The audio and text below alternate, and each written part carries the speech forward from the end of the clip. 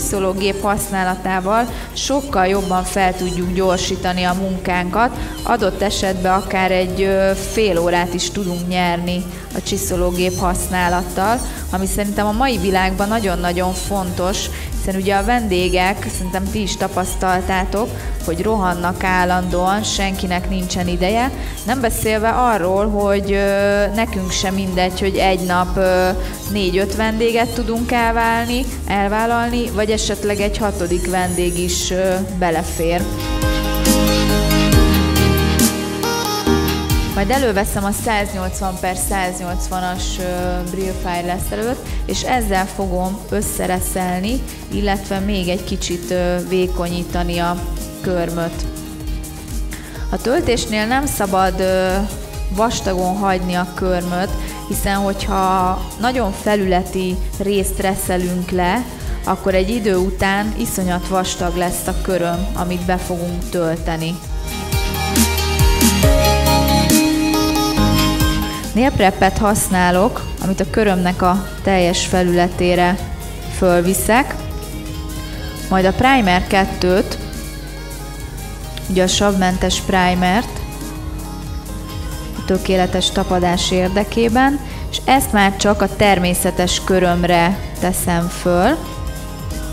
Vékony réteg bonzselét teszek a körömre, ügyelve arra, hogy körbe a sáncokhoz ne folyjon be az anyag.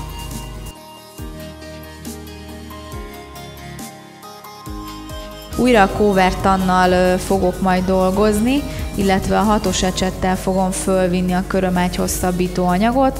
Szintén körömágy magasításos technikával fogom elkészíteni a töltést is. Fölviszem a vékony réteget.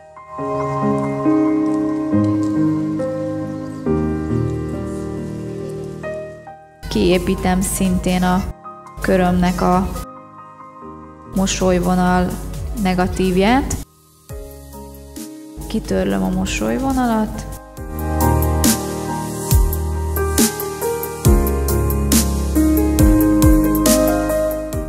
Újra előveszem a Smile ecsetet, és illetve ugye a Glassy Pink anyaggal, ezzel a pink anyaggal megépítem a körömnek a magasságát.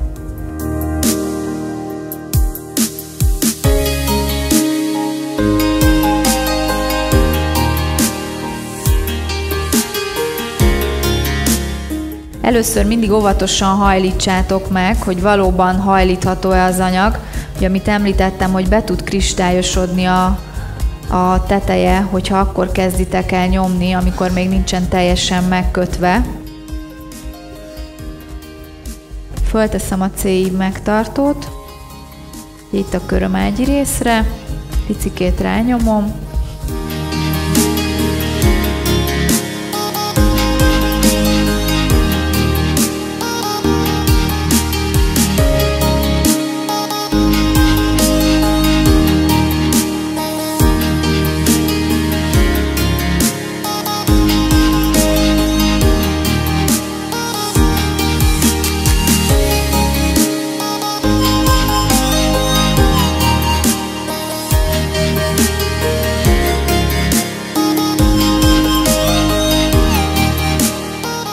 előveszem a, már említettem, a Brush Go színes zselét, a 12-est, ez egy ilyen nagyon szép mély lila szín, és ezzel fogom a szabad széli részt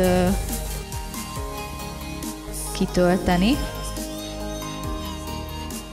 Ugye mivel színes zseléről beszélünk, ugye ezt is föl kell keverni, hogy a pigmentek, amik len vannak az alján, ugye ezek is a felszínre kerüljenek hatos ecsettel fölveszem, és egész egyszerűen csak így betöltöm a mosolyvonal elé. Elkészítem itt a másik oldalt is. Újra a Smile ecsetet fogom használni, illetve az Iron zselét használom szintén ugye a töltésnél is. Fölvettem ezt a nagyobb anyagmennyiséget, és már csak így a szabad széli részt fogom kitölteni.